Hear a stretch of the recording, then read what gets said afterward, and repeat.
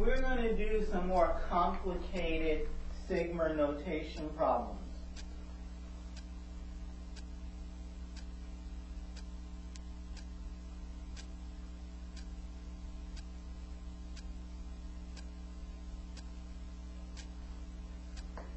Suppose you were asked to find this.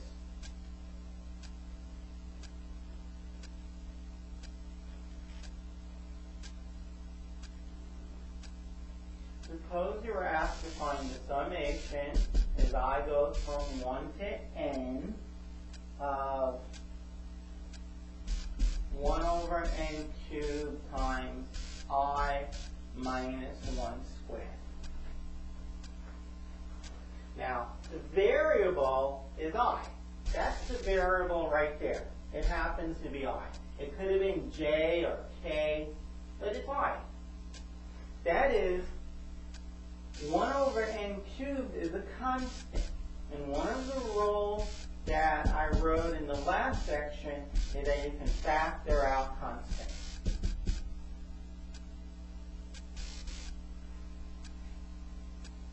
Okay, now we should, okay, there is a typo here. This should be I goes from 1 to n we should simplify what we are adding up. What is i minus 1 squared? Well, it's i squared minus 2i plus 1. That's i minus 1 squared. So we have 1 over n cubed times this. But that's the summation of the of i squared, which is n as i goes from 1 to n. It's n times n plus 1 times 2n plus 1 over 6 minus, because it says minus right there, the summation of 2i. It's a constant. The summation of 2i, the constant can come out in front. So it's the summation of i, which is n times n plus 1 over 2. And it's not just the summation of i. Summation as i goes from 1 to n. Coincidentally, the 2's cancel. Plus the summation of 1. The summation of a constant as i go from 1 to n is the constant times n, which is n. And that would be the answer a lot of times, I guess I'll say it, is what if they say, what's the limit of n goes to infinity?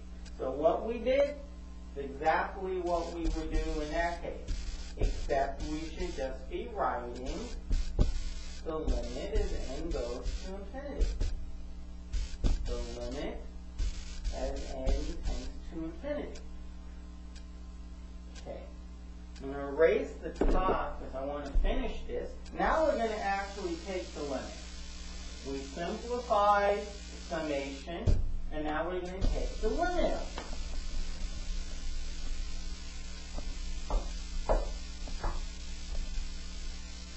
Right on the very top, we have the limit, and then goes to infinity of 1 over n cubed times n times n plus 1 times 2n plus 1 minus n times n plus 1 plus n.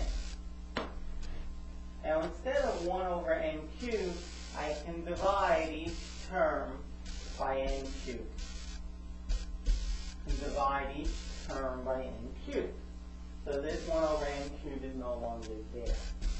And this is the limit and then goes to infinity, something over n2. Now remember, whatever this is, it gets multiplied by n. Whatever it is, it gets multiplied by n. Well, n times 2n is 2n squared times n. And then we have plus n plus 2n. That's plus 3n times the n in front. And 1 times 1 is plus 1. times n. Okay, minus n squared plus n, n squared plus n over n cubed, minus n over n cubed. Now I guess we can simplify this. Uh, everything's over n cubed. Everything's over n cubed. We have 2n cubed, and that's it for n cubed. 2n cubed.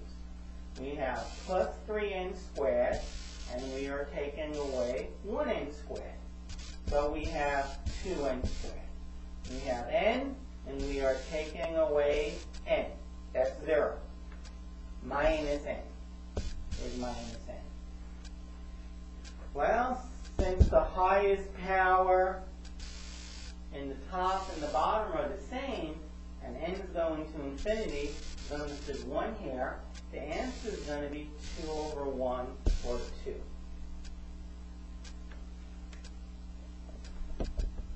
Okay, let us try another one. These are not simple. And you have to know those formulas for the summation of i, i squared, i cubed, and the summation of a constant.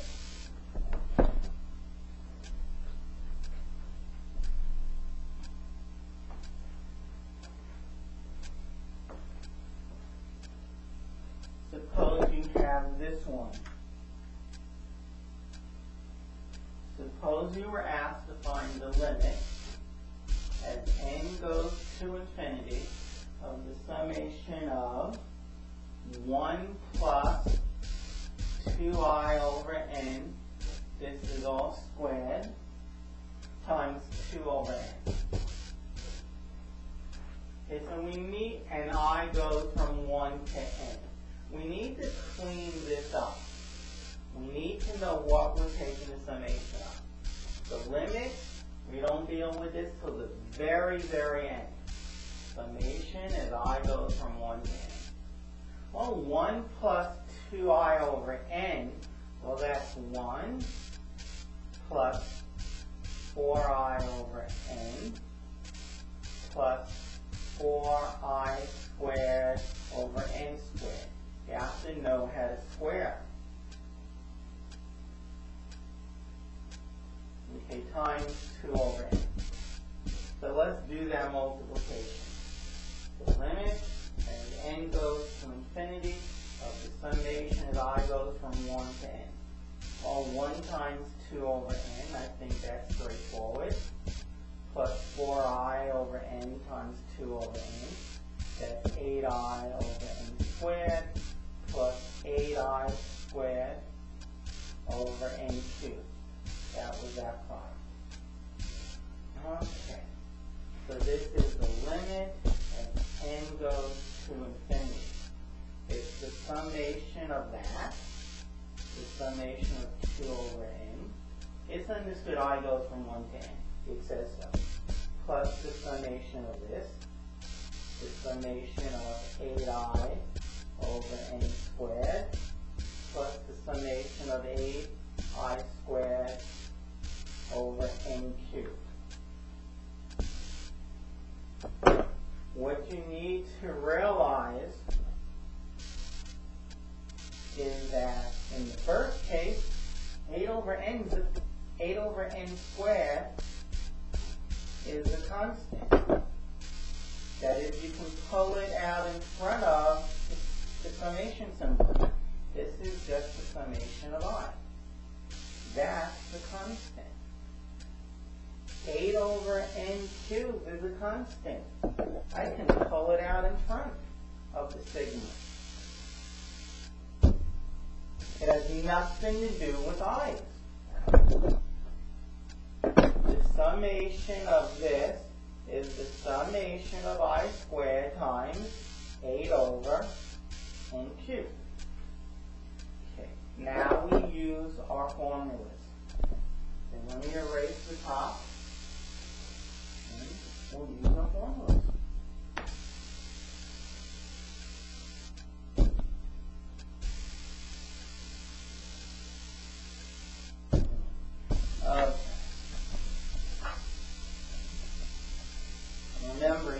Those summation I goes from 1 to n. So we still just keep writing down the word limit. The summation of that constant. It's the constant times n. The summation of c as i goes from 1 to n is c times n. And if c happens to be 2 over n, well then c happens to be 2 over n. Only i is changing. i goes from 1 to n. This doesn't depend on i. Case here, we have plus 8 over n squared times the summation of i, which is n times n plus 1 over 2, plus the constant 8 over n2 times the summation of i squared, which is n times n plus 1 times 2n plus 1 all over 6. And we need to clean up what's inside those brackets. 100% algebra, then we let n go to infinity. First thing I'll notice is those n's cancel. Limit as n goes to infinity. This is just 2. Plus. 2 goes into 8 four times. And so you have 4n times n is 4n squared plus 4n times 1 is 4n. And all of this gets divided by n squared. Plus, well, 2 goes into both of these 4 and 3 times. So the bottom is 3 and 2. So on top, we have 4 times n times n plus 1 times 2n plus 1. Let's figure out this first. So it'll be 4n times 2n squared plus n plus 2 more n, that's 3n plus 1. That is, we are going to get 8, I'm distributing the 4n, we get 8n cubed plus 12n squared plus 4n, all over 3n cubed. So 8n cubed plus 12n plus 4n. Okay. You erase this on the bottom. Let's clean up what's in the bracket yet some more.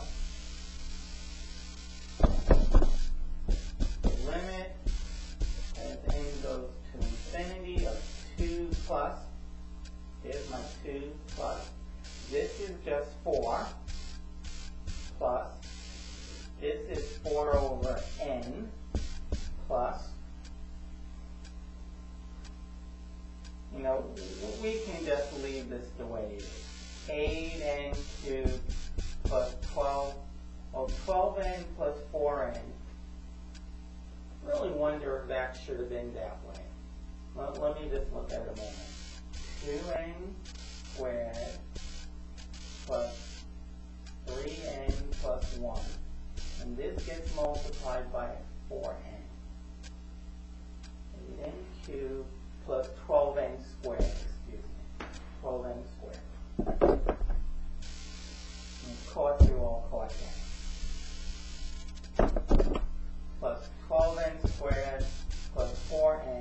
all over 3n cubed. And we're going to think of that as one whole piece. And 2 plus 4 is 6. As n changes, 6 stays 6. Plus. As n gets bigger and bigger, 4 over that goes to 0. Plus, as n gets bigger, since the highest powers are the same, you get 8 over 3. So the final answer is 6 plus 8 over 3, which is 6, and 8 thirds. 3 times 6 is 18 plus 8, 26 over 3. And 26 over 3 is 8 and 2 thirds. That's what that limit equals. So you can't read that, sorry. 8 and 2 thirds. Maybe I can just put it there. 8 and 2 thirds. So that's what that limit equals, again, minus some silly error.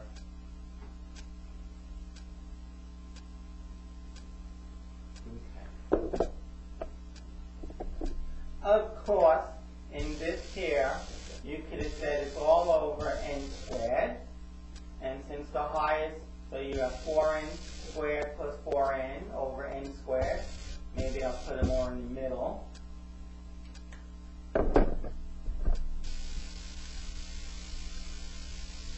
Just like we didn't separate the last term over here.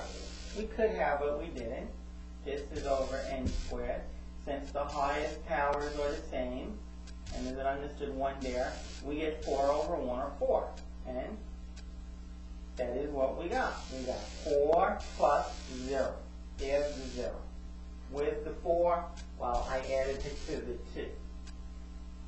Okay, so you can do, you could have done it that way as well. We're leading up to actually using, right now I gave you the limits that you had to find. Find the limit of the summation of this. Now in the next section, you're going to have to figure out what you want to take the limit and go to infinity up. Good luck with this.